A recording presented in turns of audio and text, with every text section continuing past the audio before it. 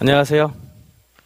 예, 제가 오늘 준비한 이야기는 여기 있는 대로 미래가 필요로 한 연결고리형 인재라는 제목으로 어떻게 보면은 앞에서 한 얘기부터 뒤에서 한 얘기까지 다 포괄할 수도 있는데 조금은 다른 초점을 가지고 오늘은 좀 이야기를 하려고 합니다.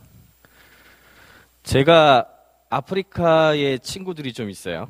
아프리카에 몇 명 이렇게 많지는 않은데 또 나름대로 좀 괜찮은 친구들이 좀 상당히 있습니다. 혹시 그 중에서도 이제 유명한 친구가 에릭 허스만이라고 하는데 혹시 이 친구에 대해서 들어본 적 있어요? 처음 들으시죠? 근데 딱 보기에 아프리카 사람 같이 안 생겼죠? 예. 근데 이 친구의 이제 인생을 보면은 어, 미국인이죠. 그러니까 자기 아버지, 어머니, 부모님이 다 미국인이었는데 어, 수단이란 나라가 있습니다. 수단. 아프리카의 수단의 남수단에 선교사로 갔어요. 아버지, 어머니가 다. 그래서 아버지, 어머니가 주로 이제 아프리카 스와일리 언어라고 하는 그 아프리카 언어로 성경을 갖다가 번역을 하는 그런 일을 하고 뭐 그런 식으로 자랐거든요. 그 뒤에 이제 케냐에 가서 또 살게 됩니다.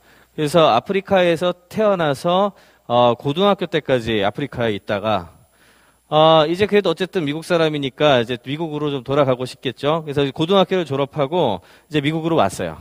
미국으로 와서는 어, 공부도 좀 하고 그 다음에 또 애국심이 있었는지 아프리카에 더 있어가지고 했는지 모르겠지만 또 괜히 또 자원 입대라는 걸 합니다. 미군에 자원 입대해서 미군 일도 좀 하고 그러면서 이제 컴퓨터 소프트웨어를 배웠는데 굉장히 뛰어난 소프트웨어 엔지니어였어요. 이게 태어날 때부터 컴퓨터 프로그램을 잘하는 사람 있잖아요. 그래서 아주 소프트웨어 프로그램이 적성에 잘 맞아가지고 굉장히 소프트웨어 프로그래밍을 잘하게 됐는데 그래서 이제 나름 실리콘밸리에서도 인정받고 뭐 이런 식으로 길을 걸어가다가 갑자기 무슨 바람이 불었는지 다시 아프리카로 돌아갑니다. 내가 아프리카로 돌아가가지고 뭔가 새로운 것을 해야 되겠다. 이런 생각을 한 거죠. 어, 그러면서 이 친구가 자리를 잡은 곳이 어, 케냐를 중심으로 해서 케냐의 나이로비를 중심으로 해서 그 주변에 있는 어, 아프리카 국가를 계속 돌아다니면서 아프리카의 모든 걸 알리는 작업을 합니다. 그래서 그 세계적으로 유명한 웹사이트를 하나 만들게 되는데 그게 2008년도에 타임즈의 50대 웹사이트로도 선정됐던 AfriGadget이라는 블로그입니다. 지금도 이게 어저께 그저께 캡처한 그 부분인데 어, 아프리카에서도 Maker Faire라고 해가지고 그 새로운 그를 만들어가지고 제시하는 뭐 이런 걸 요즘 해요. 그래서 그거를 하는데 벌브 2.0이라고 그래가지고 여기 보시, 보시는 이런 것들을 연결을 해서 어, 새로운 어떤 그, 그 백열 정부의 새로운 그 시도도 좀 소개하고 이런 소개들을 하죠. 근데 아프리카젯을 하면서 정말로 유명해진 게 또 하나 있는 것이 단순히 이것만 하는 것이 아니라 아프리카에 있는 굉장히 유명한 친구들 또는 정말 가능성이 있는 친구들을 발굴을 해서 이들을 갖다 세계로 연결하는 작업을 해요. 그렇게 해서 이 친구가 발굴한 아주 대표적인 어, 사이트 그리고 그 어, 서비스가 혹시 들어보셨는지 모르겠어요. Ushahidi라고. Ushahidi가 뭐냐 하면은 어, crowd sourcing 방식으로 사람들이 각자 우리 지역에서 벌어지고 있는 일들을 갖다 올리면 그거를 open source 방식으로 전 세계 지도에 나타날 수 있도록 해주는 그런 프로젝트인데요. 이미 뭐 어, 허리케인 저기 그 카트리나 허리케인 왔을 때도 그랬고 일본의 그, 그 후쿠시마 원자력 그 발전소 사건 있을 때도 그렇고 전부 다 이 Ushahidi 플랫폼에서 전 세계 사람들이 구두 구글 지도와 연결해서 모든 걸 보여주는 그런 걸 했거든요. 그걸 만든 친구가 그 여성입니다. 아프리카에 있는 여성 줄리아나 로티치라는 친구가 만들었는데 이거를 픽업을 해가지고 자기가 돈도 투자를 하고 그렇게 해가지고 전 세계에 알린 장본인입니다. 이 에릭 허스만이라는 친구가. 그리고 또 하나 하고 있는 것은 요 밑에 iHub라고 하는 이런 거 요즘 co-working space라고 하는데 아프리카 내부에 이런 어떤 자리를 만들어 가지고 어 아프리카에서 소프트웨어 하는 친구들을 어 불러 가지고 교육도 시키고 왜 이쪽에는 그런 거에 대한 것이 많이 부족하잖아요. 그래서 미국에서 자기가 배운 것들을 아프리카 똑똑한 애들한테 알려 주고 반대로 거기에서 괜찮은 피, 괜찮게 나온 것들은 픽업해 가지고 세계로 알리는 그런 연결고리형 작업을 하고 있는 아주 유능한 친구입니다.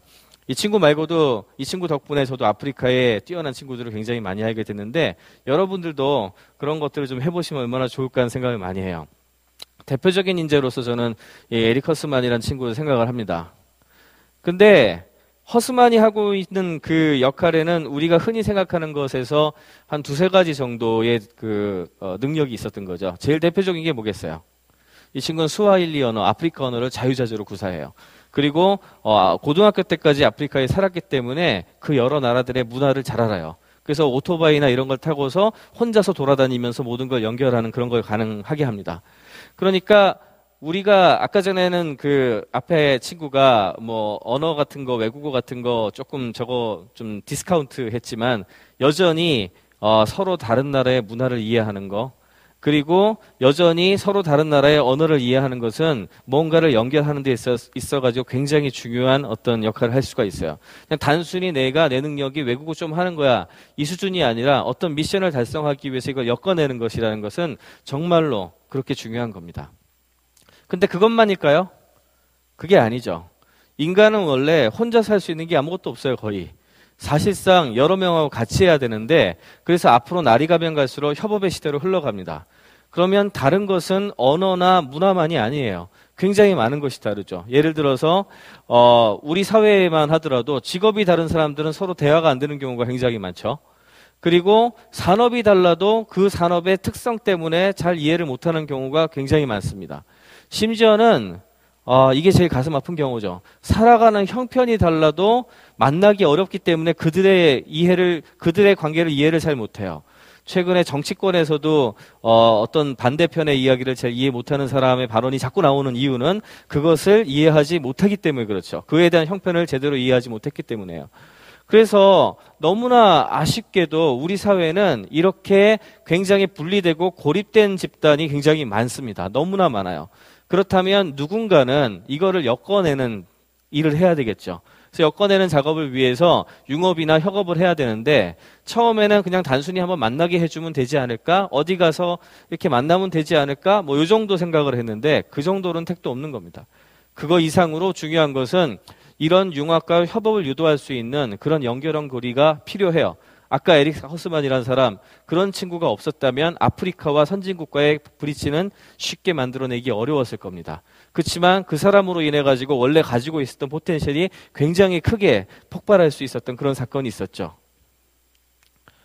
어, 이건 제 전공 분야인데 저는 의학을 전공을 했고요. 그러니까 뭐 진료는 안 하니까 의사 자격증은 있습니다. 진료만 안 하죠. 10년 됐어요, 이제. 그리고 어, 석사는 보건정책 관리학이라고 해서 정책학을 공부했어요. 이게 사회과학 계열인데 그런 종류의 공부를 했고 그 다음에 박사는 여기 있는 의공학이라고 하는 공학 계열의 공부를 했습니다. 제 전공은 빛이에요. 그래서 이 심볼이 되게 멋있죠.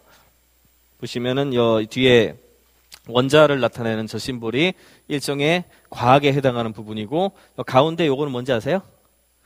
히포크라테스의 지팡이입니다. 그래서 저게 이제 의학을 상징하는 아주 중요한 심볼이죠.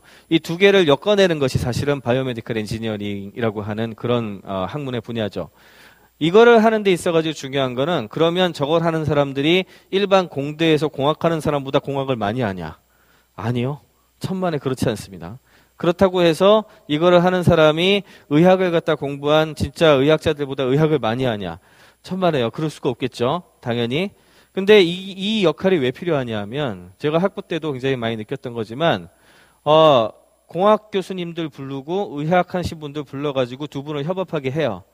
그리고 저도 융합을 외부에서 했, 외국에서 했기 때문에 한국에 와서도 그런 식으로 포럼을 조직해서 한번 같이 해보자 이런 거 많이 해봤어요.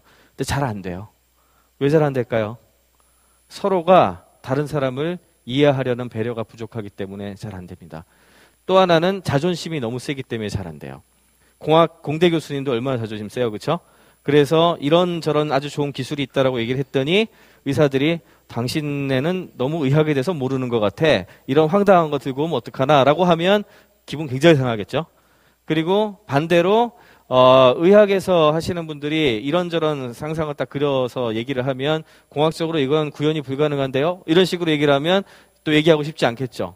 실제로 그런 일이 굉장히 많이 벌어져요. 심지어는 어, 예술과 그다음에 논리를 하는 사람들도 똑같은 현상이 벌어집니다. 제가 정말 안타까웠던 게 원래 르네상스의 메디치 이펙트라는 메디치 효과라는 것은 어, 어떻게 나타났냐면은 과학한 사람들이나 예술한 사람들이 같이 만나서 새로운 가치를 창출하면서 나온 거거든요. 근데 한국에 와서 해보니까 그게 잘 안 된 가장 큰 이유가 또 한 가지가 있습니다. 뭐냐? 좌뇌형 인간하고 우뇌형 인간이잖아요. 예술 쪽 하는 사람하고 그 다음에 논리적인 이 공학 쪽 하는 사람들이 이 두 사람이 서로 싫어해요. 서로 싫어할 수밖에 없는 게 좌뇌형 인간은 우뇌형 인간을 보면서 어떻게 생각하냐 하면 저 사람들은 왜 저렇게 황당한 생각만 할까? 그러니까 황당하다 이렇게 느끼고 반대로 우뇌형 인간은 좌뇌형 인간 이 공학이나 과학하는 사람 어떻게 보는지 아세요?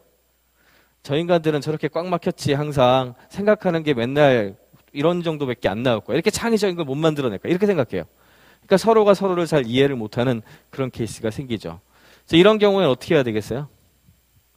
중간에 누군가 중재를 해야 됩니다. 양쪽의 이야기를 알아듣고 양쪽의 커뮤니케이션을 돕고 양쪽이 어떤 사회적 목표를 향해 나갈 수 있도록 도와주는 그런 부분들이 필요한 거죠. 아까 에릭 허스만이 언어와 문화를 뛰어넘는 것을 했던 것 그것 이상으로 필요한 것이 이와 같이 서로 다른 이해를 갖고 있는 사람들을 이해시키고 소통시키고 그들이 뭔가를 할 수 있도록 도와주는 역할입니다. 그것이 융합이 할 수 있는 일이죠. 이 그림이 뭘까요? 예, 이게 자, 이명박 대통령이 나왔던 제 17대 대선 득표를 이제 컬러풀하게 표를 한 겁니다. 완전히 다른 나라죠? 예, 예, 정동영 후보하고 이명영, 이명박 후보하고 보시면 여기도 뭐 이게 여기가 약간 중립지대 좀 비슷하게 어쨌든 나오고 잘 아시겠지만 이 지역은 특히나 이렇게 색깔이 아주 뚜렷합니다 여기. 그리고 여기는 뭐 잘 아시는 것처럼 이쪽도 이런 식으로 색깔이 뚜렷하게 나왔죠. 그러면 이들 사이에 정치도 마찬가지예요. 정치에서 중요한 건 뭘 것 같아요? 서로가 내 잘났다고 내, 내 영역을 카테고리를 치는 게 중요할까요? 아니죠. 서로가 아니고 서로가 서로에 대해서 이해를 하고 어떻게 합의를 끌어낼 수 있는가. 그리고 중간 단계를 누가 뭔가 엮어낼 수 있는가 하는 역할이 되게 중요해요. 근데 너무나 어이없게도 아직도 최근에 정치하는 사람들의 어떤 그런 행동을, 행동을 보면 다 자기들의 주장만 하고 남의 소리는 듣지 않고 언제나 어, 그들을 지원하는 사람들 숫자만 늘리고 있죠. 그거는 왜 그러냐? 우리 국민들이 그렇게 하고 있기 때문에 그렇습니다. 이런 식으로 지지를 해주는 데다가 그 다음에 누군가를 좋아해주는 사람이 딴 사람의 이야기를 정말 마음을 열고 들으려고 하지 않죠. 그렇다면 어떤 사람이 필요하겠어요? 여기에서도 마찬가지로 중간에서 뭔가 엮어주는 사람들이 필요합니다. 그래서 그런 어떤 사회적 합의를 끌어낼 때 우리 사회가 훨씬 더 어떤 나은 방향으로 흘러갈 수 있을 거라고 믿고 있습니다. 그래서 어, 지금 말씀드린 연결고리형 인재가 추구해야 될 가장 중요한 부분 그것이 바로 지금 UNIST에서도 항상 이야기하는 융합이란 부분이죠. Convergence. 그럼 융합은 뭘까요? 여러분들도 아마 여러 가지 전공을 하겠죠. 만약에 나노랑 IT를 한다. 그래서 나노 공부하고 IT 공부해서 어, 합치면 나노 IT 융합이다. 뭐 그렇게 얘기할 수 있죠. 그렇지만 그건 비빔밥이죠. 그냥 학문 두 개를 놓고서 그 두 개를 공부한다고 두 개가 융합되지는 않습니다. 융합의 가장 중요한 포인트는 횡적인 연결을 어떻게 가져갈 것인가 거기에 있죠. 그것 자체, 본질 자체를 향상시키려는 노력을 하지 않고 그냥 서로 다른 것두 개만 연결한다고 해가지고 되는 것은 절대 없습니다. 그래서 저는 convergence, 융합을 어떻게 정의하냐 하면 communication and culture라고 얘기를 해요. 일단은 서로 다른 것들의 이야기를 들을 줄 알고 이해할 줄 알고 그거를 연결 지을 수 있는 통, 연결 지을 수 있는 어떤 그런 능력을 배양하는 것. 이것이 어떤 것보다 중요한 첫 번째입니다. 두 번째는 이런 통을 할 수 있는 소통을 할 수 있는 능력을 가진 사람들이 할지라도 그런 사람들이 잘 활동을 할 수 있는 그런 환경이나 문화가 갖추어지지 않는다면 말짱 도루묵이겠죠. 뭐 예를 들어서 국내의 대기업들이 항상 얘기하는 것이 요즘 창의적 인재, 융합형 인재를 찾아요. 그래서 그런 사람들을 이렇게 데려갔다고 쳐요. 데려가 가지고 한 몇 년 지나면 어떻게 돼요? 예, 창의성과 융합성이 다 없어져 버립니다. 왜 그럴까요? 회사가 그런 거를 키워줄 수 없는 문화를 가지고 있기 때문에. 만약에 그런 문화와 어, 회사의 환경이 갖추어지지 않았다면 아무리 창의적이고 융합적인 사고를 한 사람이 들어간다고 해도 그런 것을 변화시킬 수는 없을 겁니다. 그렇기 때문에 또 한 가지 중요한 것이 바로 외부 환경과 문화입니다. 그래서 융합은 communication and culture다. 이것이 제가 생각하는 가장 중요한 융합의 핵심 포인트입니다. 이거는 최근에 이제 변화하는 환경이에요. 어, 모든 것들이 연결되기 시작을 했습니다. 그래서 connected world라는 표현을 하기도 하고 social network가 사람과 사람 사이를 연결하기 시작을 했죠. 근데 단순한 연결이 아니에요. 가만히 보시면은 의외로 섬들이 굉장히 많이 생기고 있죠. 왜? 자기가 좋아하고 자기의 선호도, 자기의 언어, 뭐 이런 거에 따라 가지고 이렇게 동그라미, 동그라미, 동그라미라고 할 수 있는 그런 we가 생기기 시작을 했어요. 이런 we들 사이에 뭔가 bridging을 할 수 있는 어떤 그런 파트가 나올 때 그럴 때 우리가 생각하는 어떤 새로운 파이형 인재들이 할 수 있는 역할이 나온다고 말씀을 드릴 수가 있습니다. 그래서 이런 말을 다르게 표현해서 Age of Me We라고 해요. 나와 우리가 같이 있는 세계. 그런 세계를 가져가는 것을 여러분들한테 꼭 말씀을 드리고 싶고요. 마지막 그림인데요. 혹시 이게 뭘까요? 제가 좋아하는 굉장히 좋아하는 노래죠. 어, 사이먼 앤 가펑클이라는 그 듀오가 부른 노래이기도 합니다. When you're weary feeling small, when tears are in your eyes, I will dry them all. 아시죠? 예, 이거의 가사가 중간에 제가 한 가사가 뭘까요? 여러분들 눈, 눈에 눈물이 날 때 그 눈물을 말려주겠다, 없애주겠다. 그런 이야기죠. 우리가 굉장히 험한 세상에서 살아가고 있는데 그 험한 세상에 수많은 사람들이 여러 가지 눈물을 흘리고 있어요.